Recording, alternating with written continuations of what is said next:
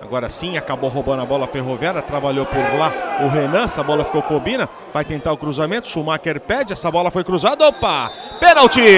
Penalidade máxima apontou o senhor Roberto Pereira aos 6 minutos e 15, você confere comigo no replay, a bola cruzada do Obina, na minha opinião, foi bola na mão, Carlinhos. Vai autorizar, pode ser o primeiro gol da Ferroviária, a torcida raia, joga sal grosso no Obina, Cristiano aponta o lance, o lugar, bateu e, defendeu o Cristiano! O Cristiano apontava o lado do gol que o Obina tinha que bater, foi displicente. O Paulo Oliveira diz que é urucubaca mesmo.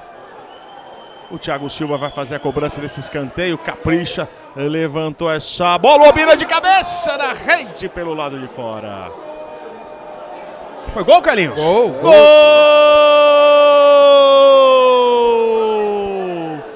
Da Ferroviária! A impressão que eu tive, Carlinhos, é que essa bola havia batido na rede pelo lado de fora. Vamos conferir no replay aqui.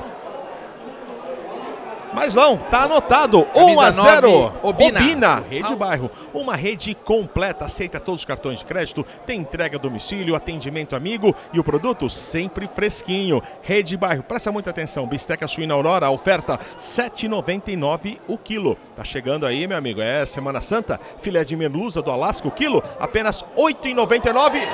E o gol. Gol!